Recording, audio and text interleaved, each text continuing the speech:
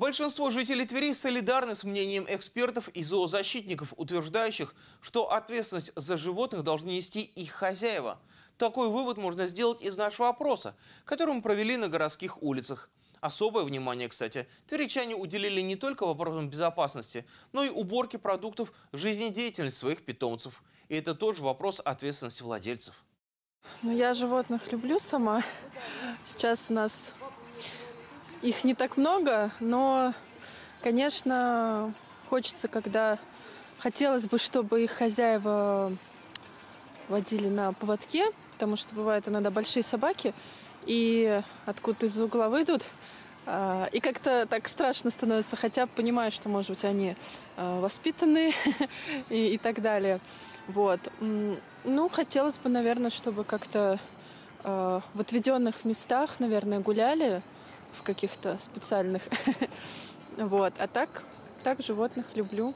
Воспитывать собаку надо. Вот. Чтобы она не пугала там посторонних. Потом должны быть места для выгула собак. У нас же этого нет ничего.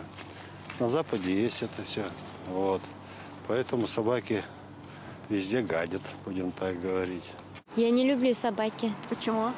Не знаю. Домашние животные не должны быть собаки. Иногда они вредные какие-то. В любом случае это животное.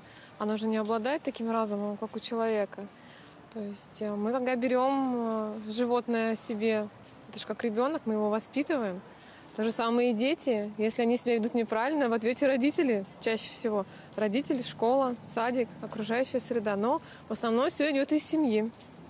Поэтому, да, у нас собака очень друж... э, миролюбивая, дружелюбная. Она у нас очень всех любит. У нас, у меня у самой четверо детей, поэтому она выросла с ними и прекрасно.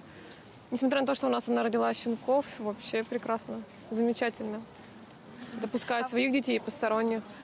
Животное же это же тоже как э, некий такой маленький человек, и за ним тоже надо следить, ухаживать и о нем заботиться. И понятное дело то, что э, дети тоже, они же совсем маленькие, они видят первый раз там, ну, бывает большая собака, бывает маленькая, вот, бывает такая, ну, рычит, ну, такая, как овчарка, вот.